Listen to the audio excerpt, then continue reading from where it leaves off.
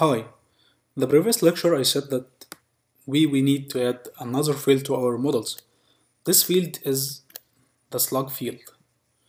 We use this field in the URL, just a field that uh, Django creates from the name or any kind of fields you define so that we will define a slug field. This field will be filled with data from the name of the meal. Okay. First of all, we need to import the Slugify library from Django. So we will say from Django dot utils dot text import and it's Slugify. Just like this, okay? And now we will add our field models dot slug field just like this. This field takes blank and the null equal true. Okay? This is just the meal slug. Okay? Now let's run our server. Our server is working. Okay? But now we've just created this slug field. We need Django to fill this field from the name of the meal. Okay? So here let's override the save function I'll say def save the save takes self and args and keywords keyword args okay.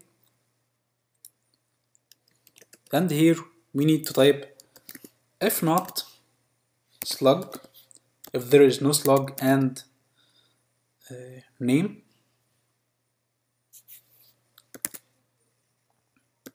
but we need to add self for them. If not self the slug and there is self dot name. If there is no slug and there is a name we need to create the slug from the name. So we will type self dot slug equal to slugify this library which we imported from Django the self dot name. Okay and here we will type super. The super takes the name of the model meals then self dot save okay? And we need to add args and keywords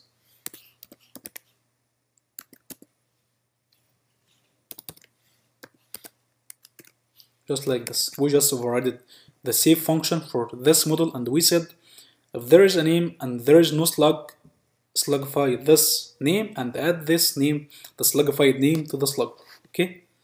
Let's make migration and migrate again. By some managed by make migrations. We added a slug field to the meals okay? Let's say it migrate let's hit run the server. And now let's open our Django admin. Let's run the server. Let's open this glass turkey. And here we have a new field named slug okay? We need this slug to be filled from this name okay? Let's hit save. Let's open the glass turkey again. And we have this slug. Django filled this field from this name okay?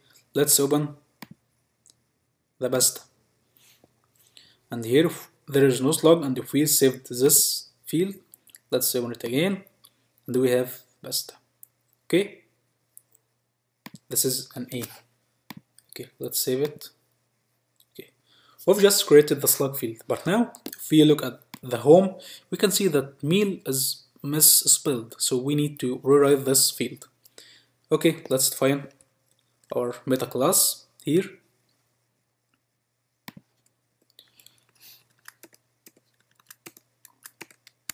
I'm gonna type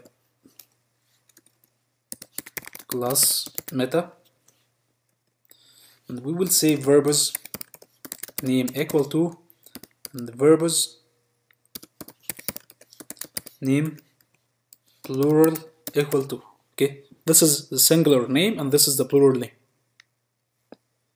This name let's say meal and this is the plural name let's say meals. Let's save this let's refresh the page we have here. Meals. And if, we open meals we can see. Add meal. This is the singular word and this is the plural word. Okay.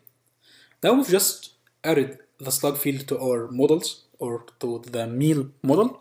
And now time that we create a view for this meal. We should see all the meals and we should see also one meal okay? We will start adding this on the next lecture